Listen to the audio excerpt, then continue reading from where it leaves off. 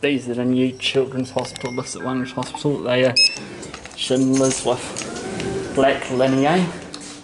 I think these may be 2500 or possibly. I think these may be, be maybe 5500s or possibly or possibly 2400s or 2600s maybe. I honestly don't know. If anyone knows, please leave me a comment.